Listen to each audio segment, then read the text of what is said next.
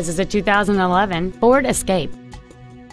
It features a 3.0-liter six-cylinder engine and a six-speed automatic transmission.